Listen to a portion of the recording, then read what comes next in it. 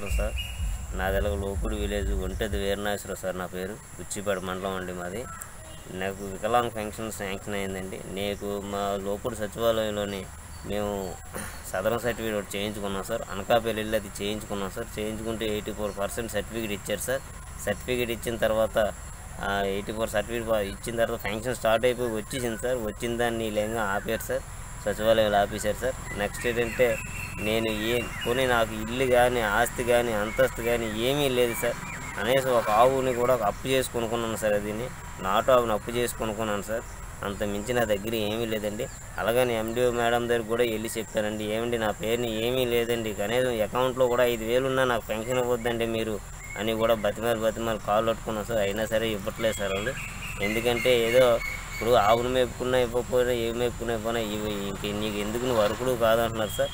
అందుకని దయచేసి మీరు నాకు ఫంక్షన్ ఇప్పిస్తారని కోరుతున్నాను సార్. నెక్స్ట్ ఇలాగే మొన్న నా దగ్గర ఇంత ఆస్తిపాస్తులు లేకపోయినా మా కుర్రోళ్ళందరితో సరదాగా తిరుగుతాను కాబట్టి మొన్న మా ఆవిడని ప్రెసిడెంట్కి గురే ఎప్పటికీ ఇలాగే ఉంటావు ఏట్రా అని చెప్పి ఒక వార్డు నెంబర్కి నిలబెట్టారు సార్. అయినా వార్డు నెంబర్ నిలబెట్టి గెలిపించారు సార్ కుర్రోళ్ళందరే. నేనైతే రూపాయి నా దగ్గర లేనప్పుడు నేను రూపాయి ఖర్చు పెట్టడానికి కూడా అవకాశం లేక నేను ఖర్చు కూడా పెట్టలేదు సార్. అందరూ ఆలే ఏదో చేసి కుర్రోళ్ళందరూ కలిసి నాకు సపోర్ట్ ఇచ్చి గెలిపించారు సార్. ఇంత పేదోడు వార్డు నెంబర్ గెలిచాడని చెప్పి వీళ్ళందరూ ఆపేస్తున్నారు సార్. ఇదే సార్ నాకు జరిగిన అన్యాయం సార్. నాకు ఇద్దరు పిల్లలు సార్. ఇద్దరు పిల్లలు నా భార్య అందరం కలిసి మేము పర్టికులర్గా సచివాలయంకి వచ్చి అందరం కూర్చున్నాం సార్. కూర్చున్నా సరే వెళ్ళి మేము పక్కాగా ఆత్మహత్య చేసుకుంటాం సార్. ఇది మాత్రం పక్కా వాతం సార్.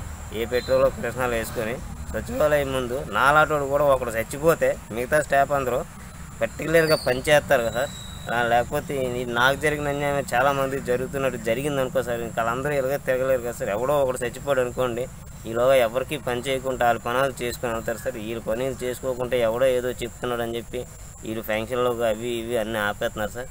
ఇది సార్ జరిగిన సిచ్యువేషన్.